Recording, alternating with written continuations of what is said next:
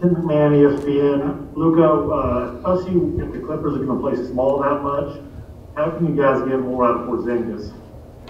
Uh, I mean, I think on the post, you know, uh, feed more the post. I think that's that's the thing, you know, because they're playing really small. And I think feed the post more. Um, all right, Callie?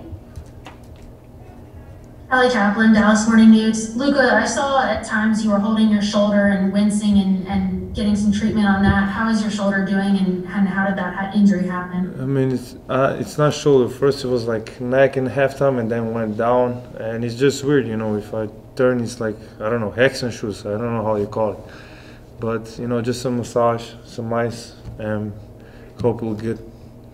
All righty. Kevin? Gray, 105.3 the fan. Luka, a little bit of chippiness tonight between yourself and the Clippers and overall. How do you feel like you guys handled that as far as some of the tactics were concerned, uh, physically and emotionally tonight? I mean, I don't really know. I got attacked. I, somebody told me later.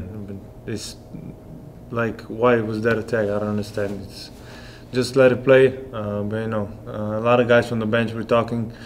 But you know, uh, just keep going. Uh, you know, nobody said it was gonna be easy, and we just gotta keep keep playing. Uh, Brad? Yeah, Luke, uh, Brad Townsend, Dallas Morning News. You guys got up to the 30 to 11 lead, and I know you, you went out for your customary uh, break. And why do you think the game turned so suddenly? And why weren't you guys able to get that momentum back?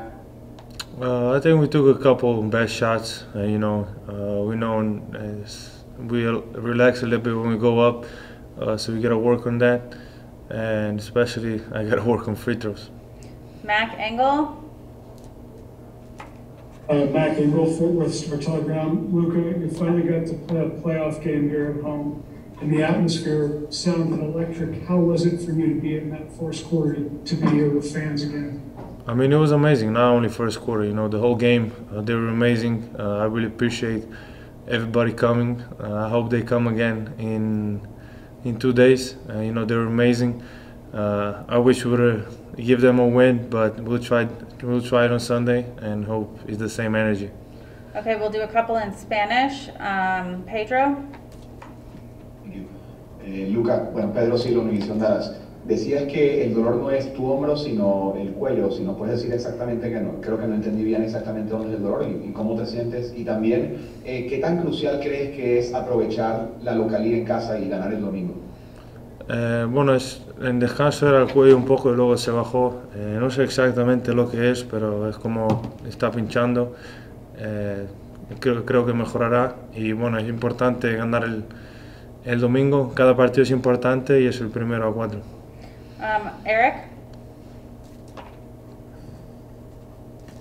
Eric Mora, Telemundo 39, Luca, ¿cuál es el sentimiento que, que, deja el haber perdido desafortunadamente este partido y qué decirle a toda la afición?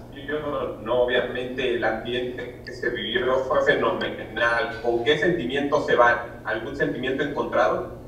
Eh, no, bueno, no se puede ganar todos los partidos, ¿no? Eh, ojalá lo ganaremos. Eh, yo lo deseo más que nadie, así que eh, olvidar este partido y pensar en el siguiente. Last one, Daniel. Daniel?